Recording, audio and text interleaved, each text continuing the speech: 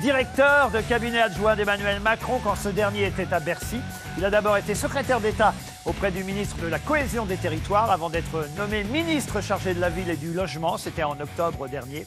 On va revenir avec lui évidemment sur la crise du logement, sur les gilets jaunes, sur le grand débat euh, national et euh, sur la politique d'aide aux sans-abri. Voici monsieur Julien de Normandie pour la première fois dans notre émission.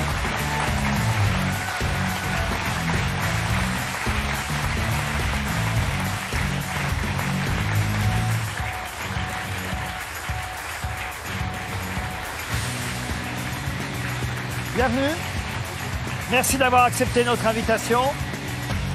Avant de répondre aux questions de mes camarades et peut-être de revenir sur cette chronique que je n'ai pas choisie par hasard dans le livre de Raphaël Enthoven, mais c'est un sujet qui vous touche et, et vous êtes euh, en charge euh, du logement, donc forcément aussi de ceux qui n'en ont pas de logement, Exactement. donc les sans-abri. Avant ça, un mot euh, rapide sur votre parcours pour ceux qui ne vous connaîtraient pas encore euh, très bien, comme j'ai l'habitude de dire. Dans ces cas-là, c'est pas vous faire injure de dire que euh, les Pas Français vous découvrent encore, Monsieur le Ministre. Euh, vous appelez Julien de Normandie. Vous êtes né en Normandie, comme votre nom l'indique. Euh, en revanche, partout, j'ai moi, curieux de nature. Jamais on dit à quel endroit en Normandie, en Haute-Normandie, en Basse-Normandie. Mais en fait, je sais que vous avez débattu des fake news il y a peu. Il s'avère que je suis pas né en Normandie. Ah ben voilà. Pourquoi alors on, ne marque jamais Bah, où vous je- êtes né? Je, je suis né à Cahors. Euh, Vous êtes dans le Lot. cadurcien. Exactement, je suis cadurcien. Euh, mais c'est vrai que j'ai des origines euh, normandes. Mais euh, effectivement, je voudrais surtout pas mal- mettre mal à l'aise toutes celles et ceux qui ont préparé l'émission, mais je ne suis pas né en Normandie. Donc ça veut dire que partout, à chaque fois qu'on met que vous êtes né en Normandie, c'est une connerie. C'est une fake news. Bon, bah alors voilà. On, on- Exactement. Alors, Cahors en Normandie, bien connu. C'est ça. Donc vous êtes cadurcien. C'est une très belle ville normande. Vous voyez qu'on fait bien de vérifier quand même. hein. Donc, né le 14 août 1980 à Cahors, voilà, fils de chirurgien, jusque-là ça va. Euh, ingénieur du génie rural, des eaux et des forêts. Oui, ça n'est pas une fake news. Ça, c'est pas effectif. Comment on devient ingénieur du génie rural, des eaux et des forêts? En fait, vous avez euh, des rencontres dans votre vie. Moi, j'ai une personne qui m'a beaucoup marqué. C'est euh, un oncle qui a dédié sa vie euh, à la gestion forestière, qui dirigeait des scieries. Et très vite, il m'a donné cet amour du territoire, cet amour de, de la gestion, cet amour de, de la nature, de, de ce qui fait en fait la beauté de notre pays. Et donc, je me suis engagé dans cette voie-là. Et j'ai fait des études d'abord d'agronomie et ensuite des eaux et forêts. Ce sont toutes ces femmes et hommes qui gèrent euh, le patrimoine naturel de l'État. Et c'était un, un engagement que j'avais pris euh, très jeune et qui m'a conduit à, à ces études. Alors, loin des eaux et des forêts, vous êtes passé aussi au monde des affaires avec un MBA en économie dont vous êtes euh, titulaire. Euh, alors, un MBA, c'est maîtrise en administration des affaires. hein, c'est ça, je le dis en français? Exactement, c'est les, les connaissances économiques. Puis, vous êtes parti euh, en Égypte, au Caire, où euh, vous avez travaillé auprès de l'ambassadeur de France, c'est ça? J'y suis allé euh, juste avant ce qu'on appelait le printemps arabe. Euh, C'était une expérience fabuleuse, un pays euh, que j'ai pu découvrir euh, euh, et qui euh, effectivement était d'autant plus intéressant que vous vous retrouvez dans une société avec euh, des points très différents de la nôtre évidemment, mais surtout dans une phase de réflexion qui était celle qui a amené euh, euh, tous ces jeunes à aller place Tahrir et qui ensuite a donné lieu euh, au renvoi de Moubarak et à l'instauration euh, d'abord euh, euh, de nouveaux régimes et puis ensuite euh, du général Sissi qu'on connaît en ce moment. Vous êtes retourné d'ailleurs avec le président de la République quand Non. il était au Caire? Non, je n'y étais pas. Vous n'y étiez pas.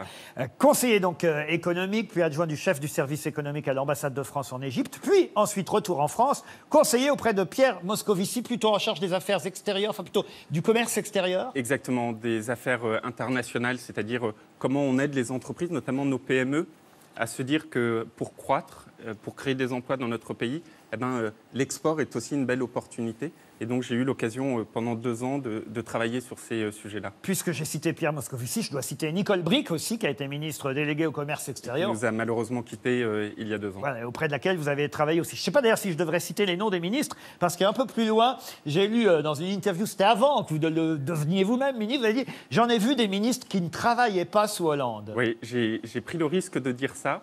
Euh, et On veut des noms, je- évidemment. Pardon On veut évidemment des noms. Non, mais je, mais je le confirme. Moi, j'ai- eu l'occasion de travailler Est-ce que avec vous en avez vu qui travaillaient sous Hollande Alors, je ça, peux, la vraie je- question. je peux vous dire que j'en ai vu qui travaillent beaucoup. Vous en avez un qui est un bourreau de travail qui s'appelle Emmanuel Macron, que, que j'ai servi euh, ju- juste après. Mais euh, vous savez, une personne comme moi qui, qui est devenue ministre, mais qui n'avait jamais fait de politique avant, qui, qui avait un, un vrai boulot avant. Aujourd'hui, être ministre, c'est une fonction. Bah, je peux vous dire que je travaille énormément. Et c'est pas une tare de beaucoup travailler. pouvez demander à mes équipes, on est pleinement à notre tâche. et c'est vrai que être ministre, c'est prendre des décisions, c'est avant tout cela.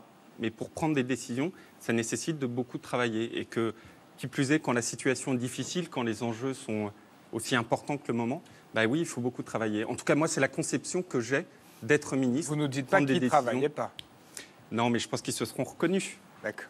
En tout cas, au point peut-être d'être dégoûté, puisqu'à un moment donné, vous vouliez quitter ce monde politique pour créer votre start-up. On est là à l'été 2014, euh, sauf que, j'allais dire, c'est Emmanuel Macron qui vous retient par le col, en quelque sorte, pour dire bah, viens travailler avec moi au ministère de l'économie. Donc vous, vous intégrez Bercy à ce moment-là. Et puis, bon, la suite, on la connaît, vous allez suivre Emmanuel Macron. Encore qu'à un moment donné, vous, vous avez failli à nouveau euh, partir dans le privé, et là encore, il vous a retenu au moment. Euh, bah, pour, pour, la petite histoire, en fait, moi, je j'avais toujours dit à Emmanuel Macron que euh, j'allais m'impliquer énormément dans sa campagne présidentielle, mais qu'à la fin de la campagne présidentielle, j'avais un autre projet qui était de, rejoindre euh, la création d'une entreprise pour faire euh, améliorer la santé au travail. Donc c'était un projet médical associant les entreprises. Et je devais commencer le lundi, et le mardi de la semaine d'avant, donc tout était finalisé, euh, le président de la République m'a appelé en me disant euh, il faut que tu continues l'aventure. Rentre au gouvernement. Voilà. Et, vous êtes rentré euh, auprès de Jacques Mézard comme secrétaire d'État auprès donc de ce ministre de la cohésion qui n'est plus ministre aujourd'hui. Vous êtes devenu vous-même ministre depuis en octobre dernier, je l'ai dit, ministre chargé de la ville et du logement. On dit d'ailleurs que vous êtes un de ces Macron Boys dont on, parle, c'est-à-dire fidèle euh, du président, au point même d'ailleurs que vous avez été très actif dans, la campagne, peut-être même vous avez créé ce mouvement En Marche avec Emmanuel Macron. Vous, estimez être un des, créateurs du mouvement? Bah, L'aventure, elle est complètement extraordinaire au sens propre du terme. C'est-à-dire qu'il euh, faut s'imaginer que au début de l'année 2016, donc moi je suis collaborateur d'Emmanuel Macron. Je suis dans un des, postes les plus prestigieux de Bercy. Alors même, vous avez rappelé euh, mes études, etc. Rien ne me prédisposait à ça. J'étais un peu un ovni à Bercy euh, sur tous ces sujets. Et à ce moment-là, Emmanuel Macron, avec quelques-uns, mais on était peu nombreux, nous dit il faut absolument qu'on aille au bout de notre démarche et qu'on crée un parti, un mouvement politique. Et donc là, je quitte tout pour aller créer, mais ce qui à l'époque était une association. Que moi, je suis allé euh, créer ce mouvement on était deux salariés et dix bénévoles. Et toutes les personnes, mais y compris ici, toutes les personnes nous disaient Mais qu'est-ce que c'est que votre truc? Ça ne marchera jamais. C'est pas possible que euh, même l'identité politique puisse changer. Et moi, je croyais, je croyais euh, en l'homme, mais je croyais aussi au, projet qu'on essayait de porter. Et donc, oui, j'ai été euh, l'un des tout premiers à partir, faire cette association politique qui, au fur et à mesure des mois, est devenu euh, ce grand mouvement politique et puis a porté euh, le candidat à l'élection présidentielle. Sauf que depuis, si j'ose dire, ça s'est un peu gâté. Vous, vous, euh, vous imaginiez que ça allait être aussi difficile que ça l'est en ce moment et que ça l'est depuis maintenant quelques mois, avec par exemple cette crise des Gilets jaunes. Ce qui est sûr, c'est que gouverner, c'est très difficile. Très difficile quand vous gouvernez, vous prenez tous les jours des décisions, mais des décisions qui impactent le quotidien des Français. C'est-à-dire que ce pas des décisions qu'on peut prendre chaque journée sur son bureau en disant euh, euh, tiens, pour résoudre tel problème, je vais prendre telle solution. Non, là, tous les actes que vous faites quand vous êtes ministre, ça impacte le quotidien des Français. Et donc, gouverner, c'est très difficile. Et c'est vrai que, alors est-ce qu'il était possible de, de prédire le mouvement qu'on est en train de vivre en ce moment? Ce serait euh, peut-être trop présomptueux de ma part de vous dire que oui. Ce qui est sûr en revanche, et ça, moi, je ne l'oublie pas, c'est que ce qui a porté Emmanuel Macron au pouvoir, c'est cette même colère. Et cette colère, moi, je l'ai vécue au plus près. On, avait fait, par exemple, pendant la campagne, une grande marche. On allait taper à 200 000 portes. Moi, je passais mes journées, mes samedis, à aller taper aux portes euh, des immeubles. Eh bien, les Français, ils exprimaient cette colère. Ils nous le disaient très clairement. On n'en peut plus, on en a ras-le-bol. Et donc voilà, cette colère, elle s'était déjà exprimée en mai 2017. Aujourd'hui, elle s'exprime sous de nouvelles formes parfois encore plus violente. Euh, est-ce qu'il était possible de la prédire? Je ne suis pas sûr. En tout cas, euh, est-ce qu'on savait qu'elle était là? Évidemment, oui. En tout cas, vous êtes sur le terrain maintenant avec Emmanuel Macron. Vous étiez lundi dernier encore à Évry-Courcouronne pour ce euh, grand débat national. C'était la cinquième étape hein, de ces débats qu'on peut voir retransmis parfois sur les chaînes info. Euh, vous y étiez en présence aussi euh, du ministre des collectivités territoriales, M. Sébastien Lecornu, et de Madame la ministre de la Transition écologique et solidaire, Emmanuel Vargon, entre autres. dans ces cas-là, vous n'êtes pas frustré que ce soit le président qui parle beaucoup, beaucoup et pas vous? Honnêtement, un peu non pas qu'il n'a pas euh, les réponses, mais parce que de temps en temps, vous vous dire, euh, bah, non, sur ce sujet, il faudrait plutôt le dire comme ça, ou il faudrait. Euh, et puis c'est Vous savez moi, ça fait presque deux ans maintenant que je suis et que je pilote ces, sujets du logement et de la politique de la ville. Et quand vous êtes face à, à 150 maires qui ont des quartiers euh, difficiles, 150 associations qui vivent au sein de ces quartiers, puis beaucoup d'habitants qui sont présents, qui sont les gens avec qui vous travaillez tous les jours. Effectivement, vous avez envie de, prendre encore plus la parole. Pour la petite histoire, il, m'a permis de, il m'a donné la parole à un moment donné. Euh, ah bah, j'avais zappé à ce moment-là. Je l'ai demandé une deuxième fois et là, je ne l'ai pas eu. Alors, euh, justement, ces débats, ils sont utiles ou pas? Franchement, quand on les voit se succéder, ces débats, on voit bien. Le, président de la République, c'est bon, sûrement pour sa cote de popularité, parce qu'il brille plutôt face à ses citoyens, face à ses maires. On le sait, il est à l'aise, mais ça, on le savait déjà. On l'avait vu pendant euh, la campagne euh, présidentielle. On se dit, ah bah oui, on a un président, un peu comme les Américains avaient Barack Obama à une époque, sauf qu'ils se sont retrouvés avec Donald Trump hein, depuis. Mais quand même, avoir quelqu'un de brillant, qui parle bien, élégant et qui connaît tous ces sujets, ça, c'est incontestable. Mais est-ce que c'est est-ce que c'est suffisant? Est-ce qu'au fond, on répond vraiment aux questions euh, des Français? Est-ce que c'est est -ce c'est utile? Est-ce que c'est pas tout ça parler pour ne rien dire? Non, moi je crois pas. Enfin, vous, parliez de cet événement à Évry-Courcouronne euh, il y a quelques jours. Euh, moi j'étais impressionné, c'est-à-dire que c'était des engagés qui étaient là, près de 400 personnes, qui ont passé quand même jusqu'à minuit un lundi soir pour échanger avec le chef de l'État. Il y avait des questions qui étaient, mais vraiment sans aucun filtre pour lesquels le président de la République, mais il a cette particularité, a toujours répondu avec extrêmement précision. Il a répondu à chacune des questions qui étaient posées. Et ça, c'est un exercice qui, moi, je trouve, est extrêmement utile, surtout quand vous pouvez avoir, euh, il ne faut pas le nier, certaines incompréhensions entre ce que porte le gouvernement et, ce que peuvent vivre les élus locaux sur le terrain, parfois certaines inquiétudes. Donc c'est nécessaire. Mais ce, qui est aussi extrêmement important à dire, c'est que le grand débat, ce n'est pas que ça le grand débat, c'est pas que le président de la République qu'on voit sur les chaînes info. Ça se passe ailleurs aussi. Mais le débat, ça se passe ailleurs. Au moment où je vous parle, c'est 4000 réunions. 4000. Il y en a 1000 qui ont déjà eu lieu et 3000 qui sont à venir. C'est près de 700 000 personnes qui euh, se sont connectées à la plateforme et qui ont fait leur propre contribution. 700 000. Et donc, en fait, moi, ce que je vois, et pour avoir participé à des débats qui n'étaient pas avec le président, euh, ce que je vois, c'est qu'il y a une, véritable envie de, porter ce débat. Justement, est-ce qu'Emmanuel Macron ne ferait pas mieux de débattre directement avec des citoyens qui ne soient pas forcément des élus? On a l'impression qu'en limitant euh, la participation des débats où il est lui au maire, il ne veut pas parler aux gens. Est-ce qu'il ne ferait pas mieux de débattre directement avec des gens, avec des citoyens? Mais vous, vous, avez peut-être pas regardé lundi, pour ne prendre que cet exemple où j'étais physiquement.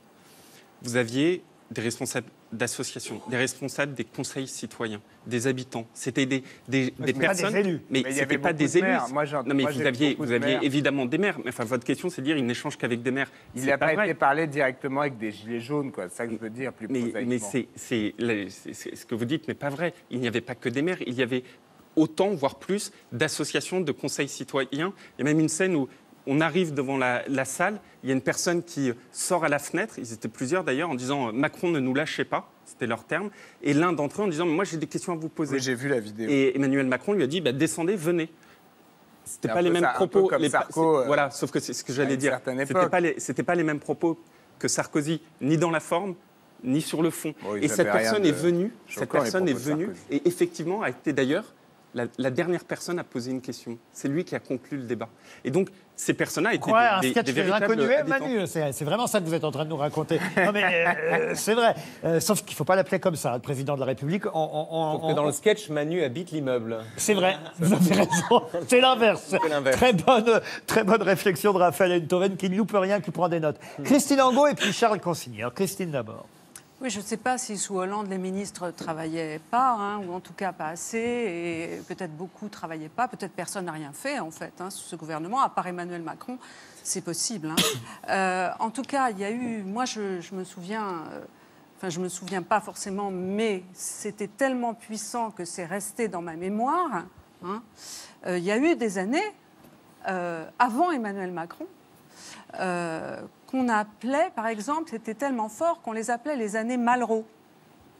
Euh, il y a eu des années après qu'on a appelé les années Langue, euh, où la culture, dans les régions, vous êtes euh, ministre de la ville et du logement, les quartiers, vous avez parlé des quartiers, des associations. Donc la culture était dans les régions, elle était dans les banlieues, dans les villes, et c'était considéré à travers notamment la décentralisation dans des théâtres.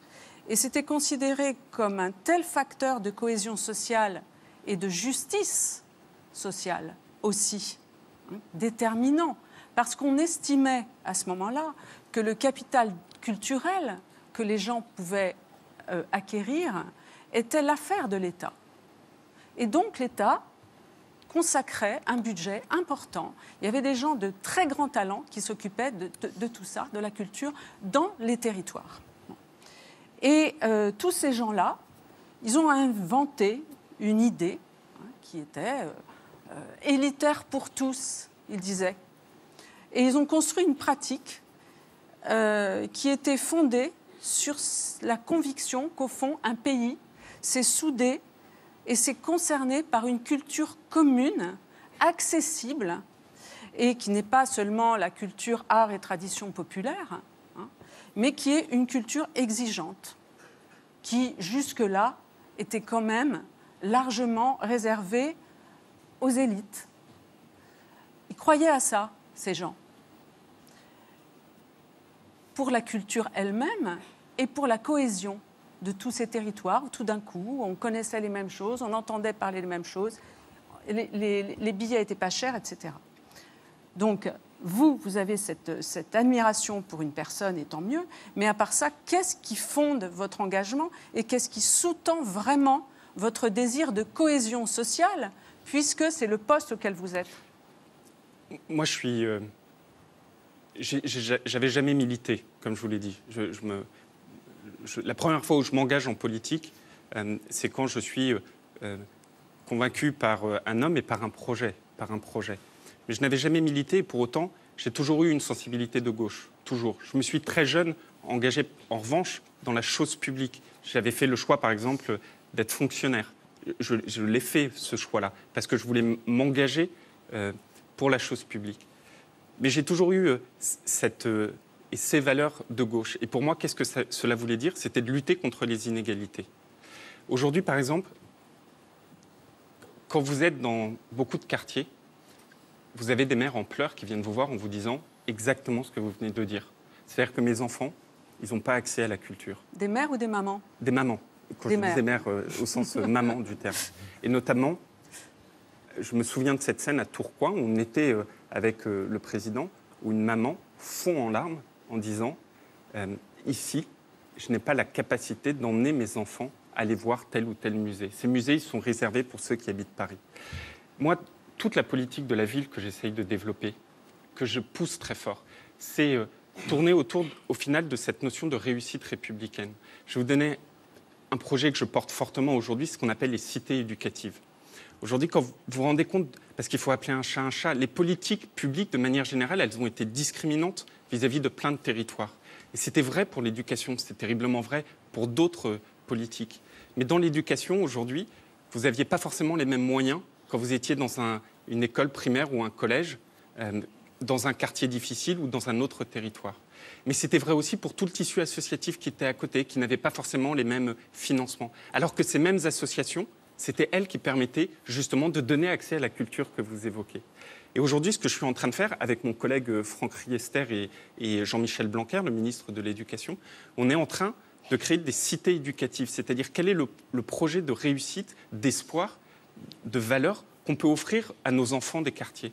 Comment vous faites en sorte que toute cette éducation, qui n'est pas que l'éducation scolaire, mais aussi culturelle, sportive, euh, citoyenne, vous puissiez le faire pas uniquement entre les murs de l'école, mais en associant, en finançant, en, coordonnant l'ensemble des acteurs dans ces quartiers difficiles. Et ça, c'est un projet que je porte fortement aujourd'hui pour les renforcer. On est parti d'exemples qui existent. Par exemple, à Grigny, ils ont mis en place cette euh, cité éducative. Ça marche très bien. Et donc, on est en train de les développer. Mais vous avez mille fois raison dans votre analyse. Cette lutte contre les inégalités, moi, c'est ça qui a fait mon engagement. C'est pour ça qu'aujourd'hui, euh, j'ai fait ce choix euh, de m'engager d'abord dans la création d'En Marche et puis, et puis de rejoindre le gouvernement. Je, partage ce que vous dites. À l'époque, ce n'était pas du tout un travail social, c'était purement culturel. Alors que là, c'est ce que vous décrivez, c'est un travail social. C'est ce qu'on appelle du socio-culturel. Voilà, exactement. C'est là, où je ne suis pas d'accord avec vous, parce que je pense que la première étape qui est malheureuse, hein, mais qu'il nous faut franchir, c'est qu'aujourd'hui, aujourd'hui, il y a une sorte de fatalité qui s'est installée, pas, pas, maintenant, depuis des décennies, mais il y a une sorte de fatalité qui fait que bah, dans un quartier, dans certains de nos territoires, le fait qu'il n'y ait pas un accès à l'offre culturelle, c'est admis. Dans un quartier, je citais Grigny tout à l'heure. La dernière fois, euh, j'étais avec des, mamans de Grigny qui m'expliquaient, mais vous vous rendez compte, moi dans ma ville, j'ai pas de pédiatre. Le seul pédiatre que j'ai, c'est la PMI. Moi, j'ai quatre enfants. Comment vous faites tous les jours quand dans votre ville, vous n'avez pas de pédiatre? Mais ça, ça c'est, moi, ce que je veux dire, c'est que cette fatalité, elle s'est en quelque sorte trop installé. Et donc, ce que je fais, mais avec beaucoup de détermination, mais aussi d'humilité, parce que je ne vais pas changer tout du jour au lendemain, mais le projet pour lequel je me suis engagé et que je défends, c'est d'abord de lutter contre cette fatalité, contre ces inégalités. Regardez sur l'éducation ce qu'on a fait. Et pour moi, c'est l'une des, mesures les plus importantes de ce début de quinquennat. Dans l'éducation, on, on sait à quel point c'est important l'éducation au plus jeune âge. Et ce qu'on a décidé, c'est pour toutes les classes de CP et de CE1, on divise le nombre d'élèves par deux dans ces quartiers difficiles. Oui, je sais bien, mais, il y a toujours cette, cette, question de sectorisation, cette question des, quartiers euh, qui sont devenus, qui sont maintenant, euh, il n'y a plus, il a plus du tout de mélange dans dans, bien dans les quartiers, aussi bien autour, bien le problème. Euh, enfin partout dans les grandes villes et, autour des grandes villes. Et avec les gilets jaunes, ça a commencé avec, enfin ça a commencé on parle d'essence, on parle de, voitures, on parle de, tout ça, mais enfin, vous savez très bien que ce qui divise les gens et pourquoi les gens sont obligés d'aller habiter loin, c'est parce qu'il euh, y a le prix du logement. Vous, vous êtes euh, ministre du logement et vous, allez faire plein de choses formidables pour que tout ça, ça soit euh, moins cher, peut-être qu'il y ait plus de logements sociaux, etc. Mais il y a une chose sur laquelle vous n'aurez pas d'action ou alors si vous en avez, tant mieux, c'est le marché de l'immobilier qui là, euh, c'est ça qui, qui, fait que qu'on est tous dans cette situation. Et où ça, personne ne peut le toucher. Vous, pas plus qu'un gouvernement de gauche. Bah, si, vous c'est pareil, on peut admettre qu'il y a un système qui aujourd'hui euh, euh, soit juste délirant, parce que c'est quoi la réalité? La réalité, c'est qu'aujourd'hui, vous avez une femme avec des enfants qui veut s'installer en plein centre de Paris parce qu'elle vient de divorcer elle ne peut pas trouver de logement. C'est quand même ça, c'est comme ça, c'est comme ça la, réalité de, ce qu'on vit. Et donc vous faites quoi vis-à-vis de ça? On se dit, bah, c'est pas grave, on, laisse filer la chose comme si de rien n'était, ou au contraire, on, prend des mesures fortes. Alors il y a des mesures fortes que vous venez d'indiquer, qui est de dire, il faut construire plus. Il faut faire en sorte que, parce qu'on va construire plus de logements, à terme, les prix diminueront. Moi, je viens de passer une loi logement euh, qui a été adoptée il y a un mois et demi. J'ai redonné la possibilité aux maires de mettre l'encadrement des loyers. Et ça, c'est des actions directes très forte. Parce que, encore une fois, le logement, c'est quelque chose qui, se fait évidemment sur le, temps long. Évidemment, du jour au lendemain, ce serait totalement démago de ma part de vous dire que je vais construire, euh, euh, grâce à mon action, des dizaines ou des centaines de milliers de logements en plus. Ce serait démago. Il, il faut ce temps long. Mais il y a d'autres choses sur lesquelles on peut agir très rapidement comme euh, l'exemple que je viens de vous dire sur l'encadrement des loyers. J'ai redonné la possibilité aux maires de le faire. Et pour revenir juste un, moment sur la culture, même si on recevra peut-être dans quelques semaines le ministre de la Culture, Franck Lesser, il y a le fameux passe culture qui est testé dans certains endroits, pas partout encore pour l'instant. Pas partout. Pour les jeunes de 18 ans, c'est combien? 500 euros? C'est 500 euros. Euh, qui est donné dans votre 18e année pour vous donner euh, accès à des offres culturelles. Ça va dans le sens de ce que vous venez de, dire. Effectivement, il y a un certain nombre. Mais est-ce que ce sera généralisé, ça? Oui, bien sûr. L'objectif, euh, l'objectif, c'est de le généraliser à la fin du quinquennat, si je ne dis pas de bêtises. J'ai compris que c'était, euh, c'était cela. Tous les jeunes de 18 ans recevront 500 euros de c'était, c'était, c'était, un engagement de, campagne du président de, la République de pouvoir donner justement accès. Mais là, où, là où je vous rejoins, l'accès à la culture, c'est, pas qu'une question de financement. C'est pas l'argent dans sa poche. Hein. Je suis d'accord. C'est mais, pas ça. Hein. Mais sauf que cet argent dans sa poche, dans cette poche, parfois, quand il n'y en a pas, ça vous empêche totalement, y compris quand euh, les élus locaux, par exemple, ont fait euh, l'effort, euh, ont déployé l'énergie pour apporter cette offre culturelle. Donc elle est aussi importante. C'est pour ça que le président de la République et aujourd'hui Franck Riester développe ce, ce passe culture pour tous les jeunes de 18 ans.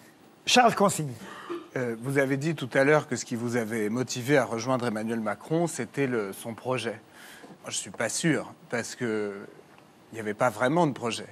D'ailleurs, on a su après, euh, dans, le, dans, le, dans la révélation de, de comment tout ça avait été fait, il y avait dans la stratégie, qui a été une stratégie très habile, de surtout rester toujours le plus flou possible pour être sûr d'agréger euh, le maximum d'adhésion et d'éloigner personne. C'est le fameux en même temps, en effet. Euh, et et c'est une stratégie politique comme une autre, mais il n'empêche qu'il y avait cette stratégie. Puis il n'y avait tellement pas de projet que un des moments forts de la campagne, ça a été un moment qui, moi, m'avait fait rire, où Emmanuel Macron avait procédé par tautologie pour parler de son projet. Il avait dit aux gens allez-y, portez ce projet, partout où vous irez, etc., ouvrez les portes, parce que c'est notre projet. Achetez mon pain parce que c'est mon pain. Euh, C'était un peu, un peu faible. Euh, donc, à mon avis, il n'y avait pas de projet. Il y avait, vous symbolisiez quelque chose. Et ce qui, à mon avis, a fait que Emmanuel Macron a gagné, moi j'étais certain, je ne veux pas jouer à l'oracle qui, avait bien prévu les choses, mais j'étais sûr qu'il allait gagner cette élection. Pourquoi? Parce que il incarnait la modernité.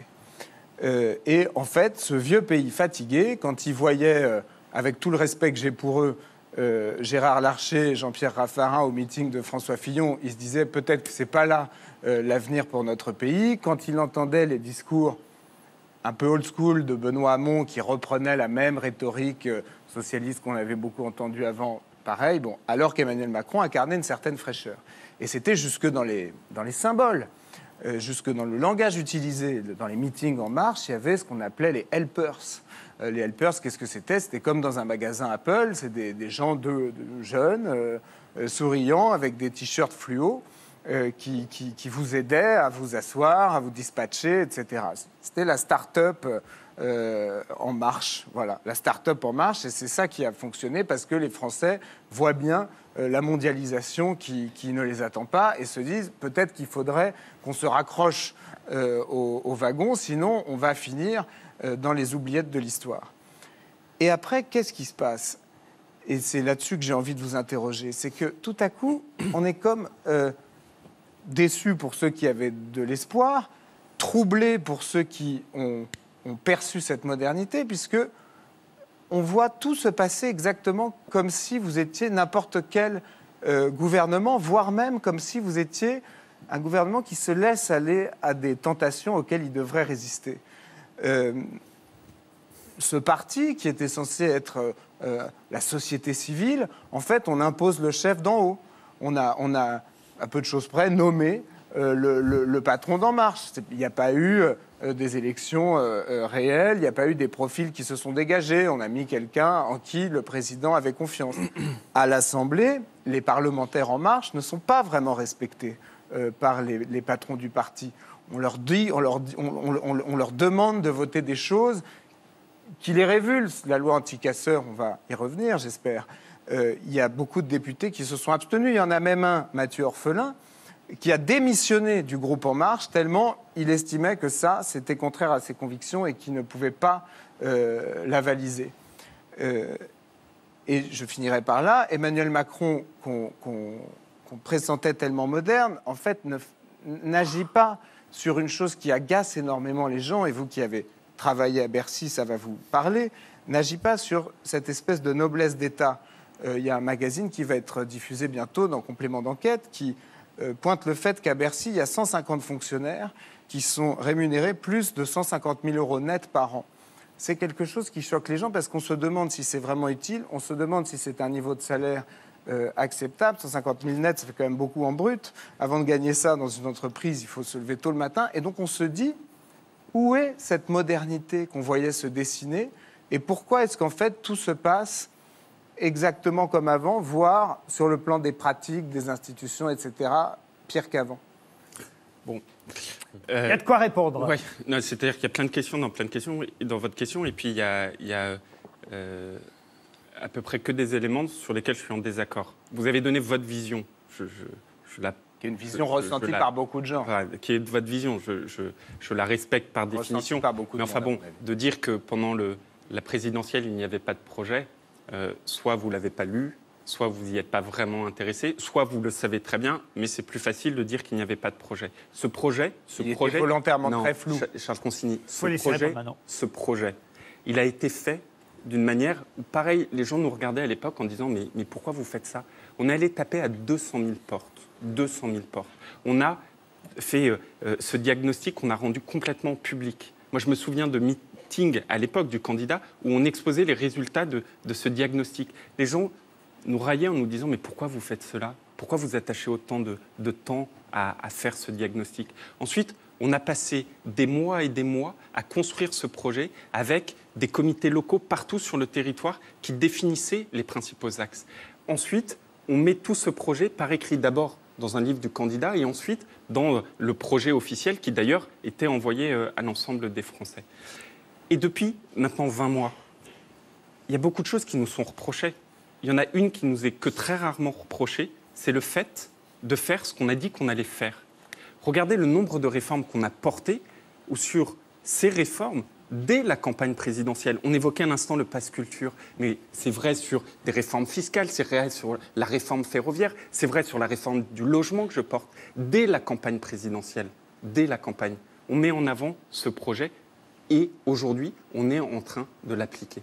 Et alors après, votre question, c'est euh, euh, est-on moderne ou pas moderne? Bon, Vaste question la modernité, c'est quoi? Est-ce que vous êtes moderne, Charles Consigny? Je pense pas. Ouais. Et donc, Mais moi, le fait de, de dire ça dans votre réponse, je me demande la vision de la modernité que, que, vous avez. Mais c'est helpers, c'est ça qui est formidable dans votre propos. C'est helpers, c'est quoi? C'est des jeunes de, de, de 16 à, à 22 ans qui disaient, qui sonnaient à notre porte et qui disaient Mais moi, j'y crois dans votre truc. Moi, j'y crois dans votre mouvement politique. Moi, j'ai envie de donner mon temps. Moi, j'ai envie de venir vous aider dans un meeting. Mais c'était ça c'était des bénévoles. Oui, mais, mais c'était des bénévoles vous qui venaient donner appelé à dessein des helpers. Vous avez utilisé, vous le savez, c'est pas, ça sert à rien de le nier. Vous, avez utilisé les euh, un, lexique, euh, des images, etc., qui visaient à montrer que vous étiez moderne. C'était quand même ça l'idée. Mais, regardez, il pas appelé ça des stadiers. Mais une personne comme moi. Ça ressemblait à des, à des, à des, à des conférences de la marque Apple, non, Vous voyez ce que je dis On avait l'impression qu'Emmanuel Macron venait nous présenter le dernier iPhone quand même. Un peu. mais ce n'est pas, pas forcément négatif. Une personne comme moi, je ne sais pas si j'incarne euh, une modernité ou pas. Ce que je sais, c'est que quand moi je rentrais au CP en 1986, Jean-Luc Mélenchon, qui était candidat à cette élection, il était sénateur. Et alors ça. Mais ce que je veux dire, c'est qu'au moment de cette campagne présidentielle, mais ce qu'on ce ressent, ce qui est, ce qui est d'ailleurs quelque chose qui, qui nous emporte tous au sens euh, qui doit tous nous interroger, c'est qu'aujourd'hui, il y a un vrai sujet qui est l'adhésion des Français avec les représentants politiques. Quand vous avez euh, un Jean-Luc Mélenchon qui aujourd'hui euh, ne cesse de, hurler, moi je trouve qu'il a un comportement inacceptable. une personne qui était candidat qui insulte les juges, qui insulte la police, qui commence un discours à l'Assemblée nationale. Mais ça a quoi à voir avec le fait que vous avez fait le, CP euh, la même mais, année mais je termine juste. Qui, qui, insulte, qui insulte à l'Assemblée nationale, ou plutôt qui commence à l'Assemblée nationale ses propos alors qu'il y avait déjà huit morts, il y en a eu plus après, au moment des Gilets jaunes, en disant « heureux sont les jours que nous vivons ». Ce même Jean-Luc Mélenchon, 18 ans sénateur, 8 ans député européen, 2 ans ministre, 2 ans député, quel est, quel est le bilan de cette personne? Quelle est la mesure oui, mais attendez, Moi, je veux bien que vous vous déplaciez sur Mélenchon, mais, mais ce n'était pas du tout l'objet de ma question. Mais, si, mais si, parce que la modernité, votre question c'est qu'est-ce que c'est qu'être moderne? Non, mais qu'il soit moins moderne que vous, d'accord, mais ça ne vous empêche pas de ne pas l'être. Parce que moi, ce que je pense le, au, plus profond de moi-même, c'est que d'abord, il faut cet engagement euh, de nouvelles personnes dans la politique.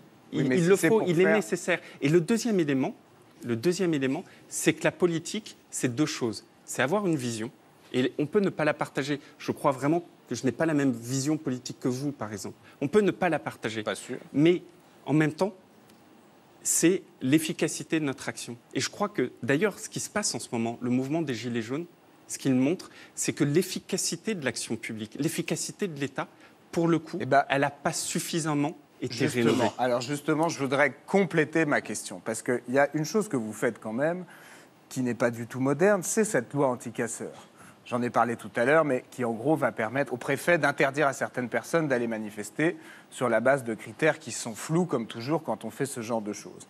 Cette loi, elle a été dénoncée par plusieurs grandes voix.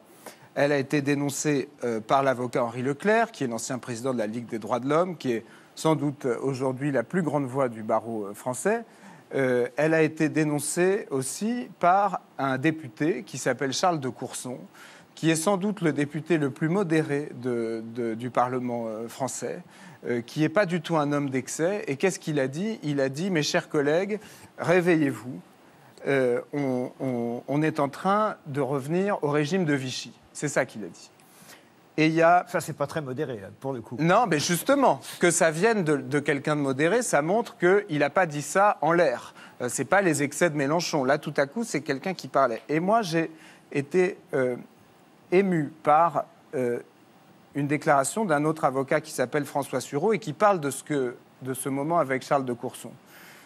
François Sureau, remarquable avocat, proche d'ailleurs d'Emmanuel Macron. Je connais bien. Très engagé, magnifique personnage. Et il dit J'ai eu un serment de cœur, je l'avoue, lorsque j'ai vu 50 nains de jardin ricaner en entendant M. de Courson les mettre en garde. Un abîme se creusait entre deux mondes, non pas l'ancien opposé au nouveau, mais celui de la conscience opposé à celui de l'inconscience. J'espère au moins qu'on avait promis des places aux siffleurs, sans cela ce serait trop triste. Un moment fugitif dans cette assemblée de suspieds, la liberté a pris le visage de ce vieil enfant têtu qui parlait d'honneur, un visage venu d'un autre temps, d'une autre France peut-être. Au diable ceux qui y verront de la littérature, il leur reste du chemin à faire pour aimer la liberté. Ma question c'est, avec toute l'intelligence que vous avez, les macronistes, qui avaient gagné la présidentielle au nez à la barbe de tout le monde, qui avaient fait des très bonnes écoles, etc., quand on vous met en garde comme ça, quand ces gens se réveillent, sortent de leur activité professionnelle quotidienne prennent la parole pour vous dire attention là, peut-être que vous êtes en train de faire une erreur. Pourquoi est-ce que vous vous entêtez?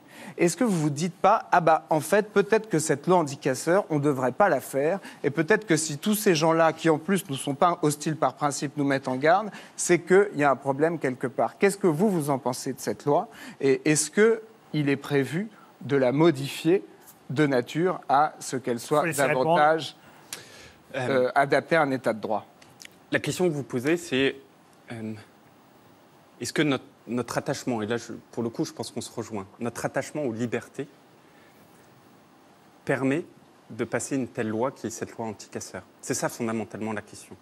Est-ce qu'aujourd'hui, interdire l'accès à telle ou telle à une manifestation peut être justifié quand ces personnes qu'on cherche à interdire, quand ces personnes sont les mêmes qui de journée après journée, de mois après mois, d'année après année, viennent, non pas pour manifester, mais pour taper, saccager, voire tuer des personnes qui sont des policiers, des gendarmes, mais avant toute autre chose, des pères et des mères de famille.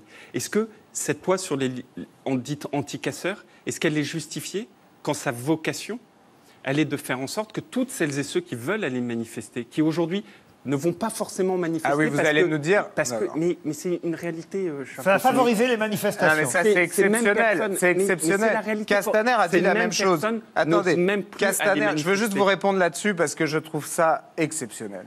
Castaner euh, a, présenté en effet cette loi anti-casseurs. Il n'y a pas que François Sureau qui est contre. Il y a Henri Leclerc, il y a 50 députés en marche à peu près qui n'ont pas voté. Et il y a euh, d'autres députés. C'est normal qu'il y ait un non, Mais il dit euh, c'est une loi en fait qui, défend le droit de manifester. C'est magnifique. Mais justement, qu'est-ce qu'il répond Sureau? Et il a tout à fait raison. Il, a, il dit Nul doute que si le gouvernement rétablissait la peine de mort, un ministre saurait défendre la loi en l'intitulant Loi de défense de la vie prise dans l'intérêt des victimes. et il pose la question croit-on vraiment que le public soit si bête Et eh ben moi, je pense que vous prenez, excusez-moi, un peu les gens pour des imbéciles euh, quand vous leur dites que ça va leur permettre de manifester dans des bonnes conditions. Je pense pas. Évidemment, évidemment, je ne partage pas. Je, je veux dire, aujourd'hui, on est face à quoi? On est face euh, à des moments, à des images, à du vécu qui est juste insupportable dans une démocratie. C'est insupportable de se dire qu'un policier, par des personnes qui sont connues, qui reviennent, se fait balancer des poches d'acide, des boules de pétanque, se fait taper un main nue. Est-ce que ça, c'est la notion même qu'on a de la démocratie? Est-ce que c'est ça? Est-ce que c'est ça, la liberté de pouvoir aller manifester?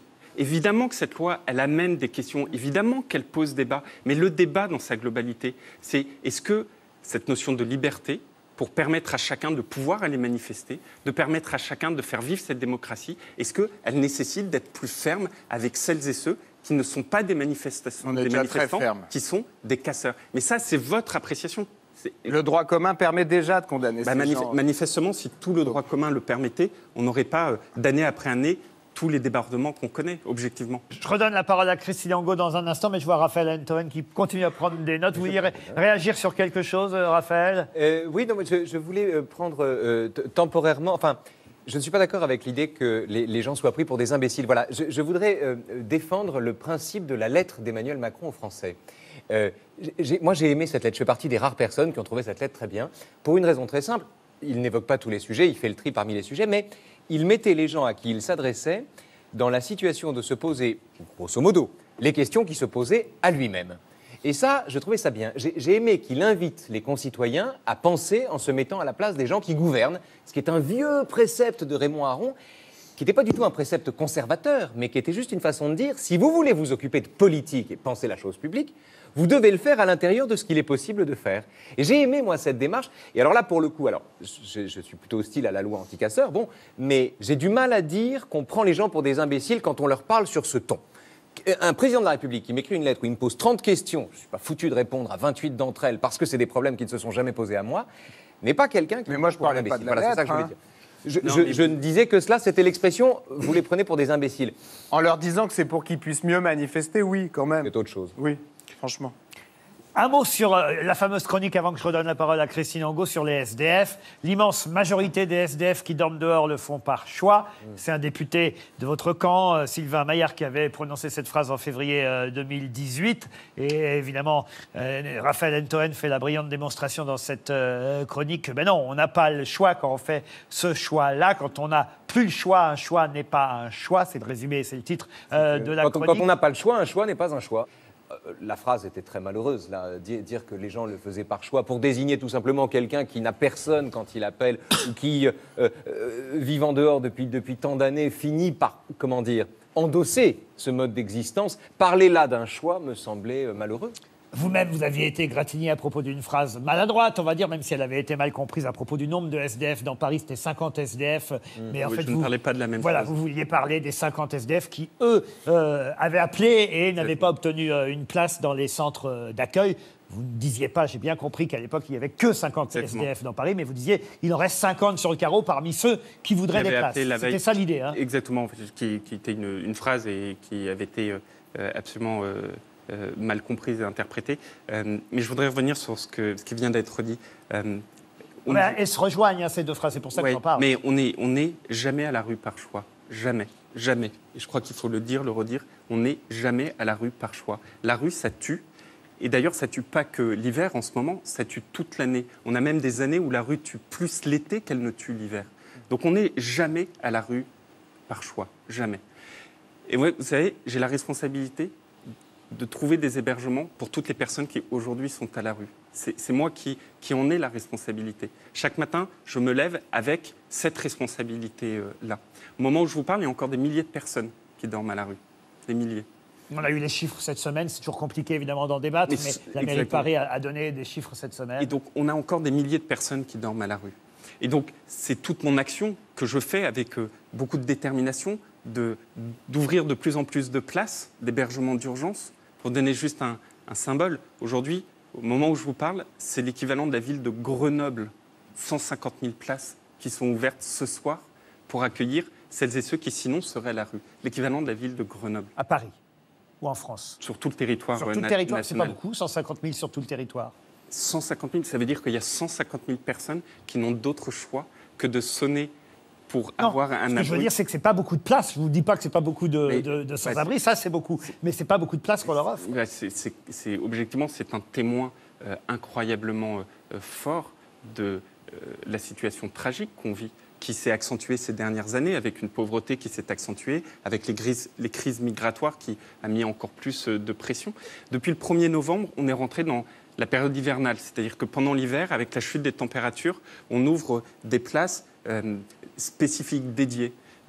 je- depuis le 1er novembre, j'en ai ouvert 15 000, 15 000 pour justement faire face à tout cet afflux. Et pour autant, il y a encore des personnes Dans qui continuent à dormir dehors. Et donc face à ça, on continue, on continue à ouvrir. Et pour vous donner je- je- ma détermination, j'ai même, je, je viens de quitter mon ministère au, au dernier remaniement, qui était un hôtel particulier dans le 7e arrondissement de Paris. Mais je l'ai transformé en centre d'hébergement d'urgence. 35 femmes et enfants qui aujourd'hui logent dans ce ministère que j'occupais avant. Mais la vraie solution, le vrai sujet qui, qui aujourd'hui est face à nous, c'est comment vous faites sortir ces personnes-là de l'hébergement d'urgence pour leur donner un vrai logement. C'est ça. C'est ça qu'on fait, par exemple, avec la Fondation Abbé Pierre. C'est de sortir les personnes, parce que quand vous êtes dans un hébergement d'urgence, dans un hôtel, et que vous allez chercher un boulot, bah, votre adresse, ce n'est pas la même adresse que si vous avez un logement. Quand vous n'avez pas les clés d'un chez vous, bah, ce n'est pas la même chose. C'est beaucoup plus compliqué. Pour se réinsérer, c'est très difficile. Exactement. Et donc, si on veut arrêter cette spirale infernale de personnes qui rentrent un soir dans un centre, repartent et le lendemain redemandent, bah, il faut réussir au fur et à mesure à sortir les personnes et leur donner un vrai logement. Cette politique qu'on porte avec un certain nombre d'associations comme euh, la Fondation Abbé Pierre. Christine Angot, sur un autre sujet peut-être.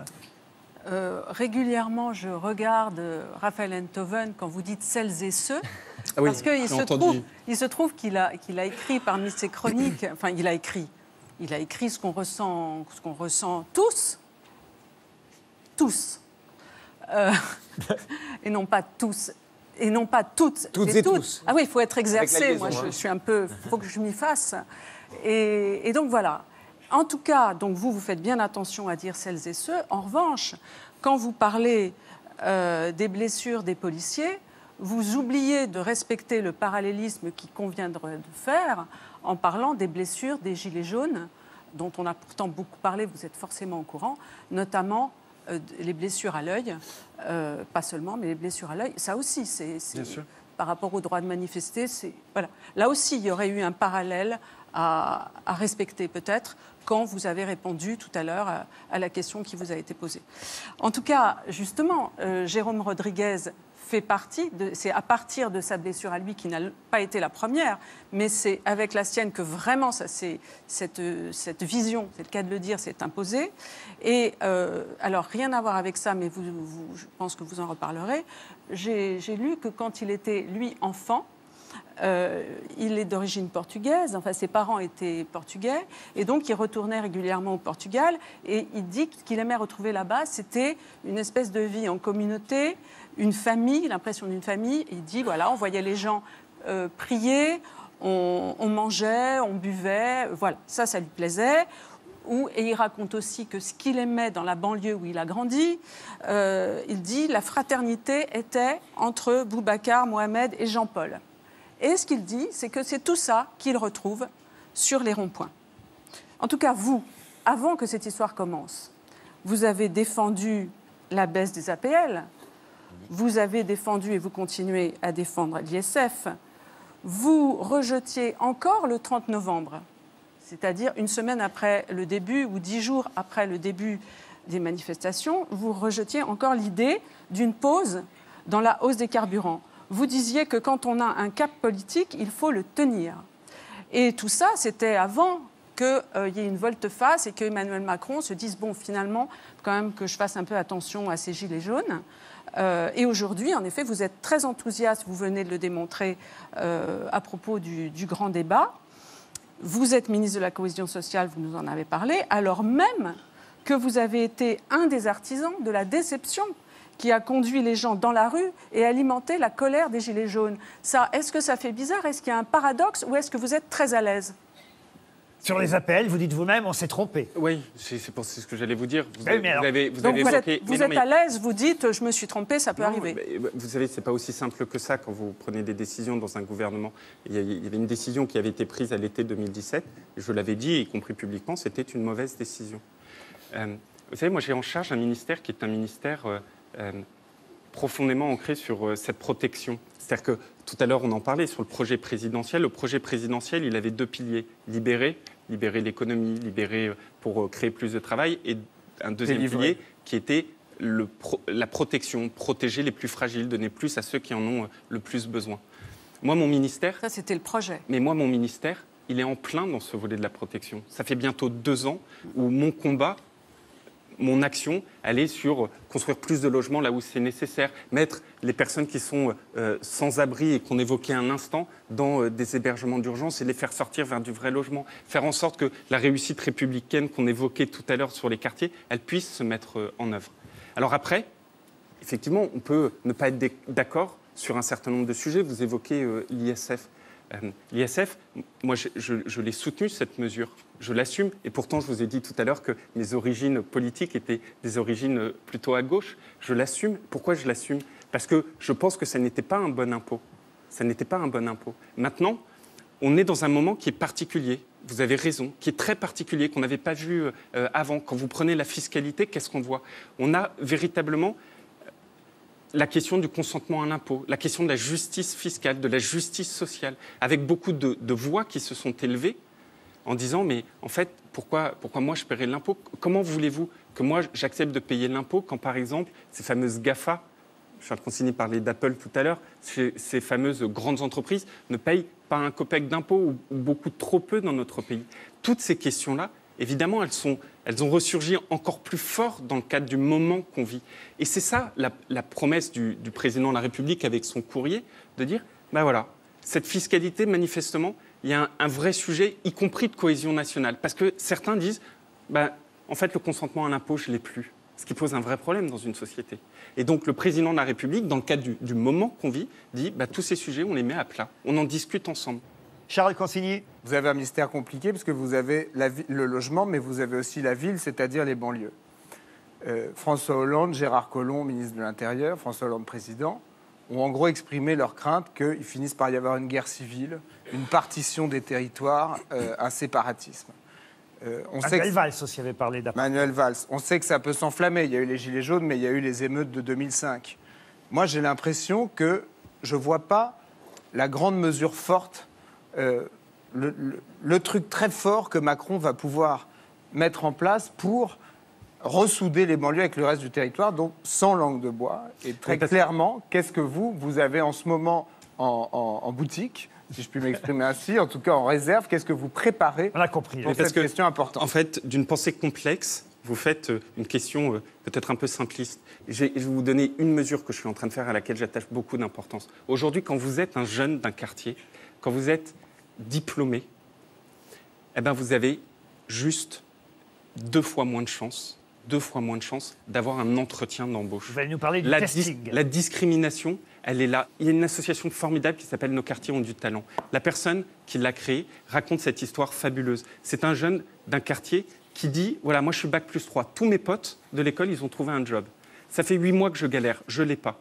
Il décide d'aller chercher des, des jobs, non pas bac plus 3, mais niveau bac à ce moment-là, toutes les personnes lui disent Mais c'est quand même un peu bizarre, sur ton CV, vous avez un bac plus 3 et vous cherchez un job niveau bac. Ben non, on ne va pas vous prendre.